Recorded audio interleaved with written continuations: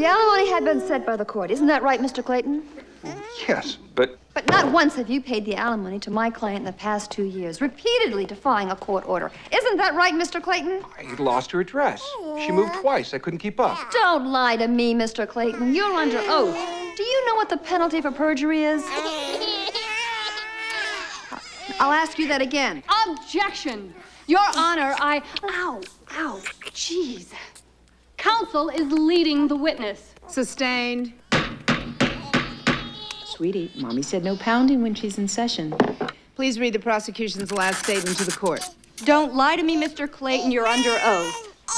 There, that a boy. Do you know what the penalty for perjury is? That's all I have, Your Honor. You may continue, Miss Spencer Drebin. Uh, prosecution rest. Defense attorney, Ms. Davis, Jacob Steiner Laszlo. I have no further questions, Your Honor. Court will recess until after the morning feeding.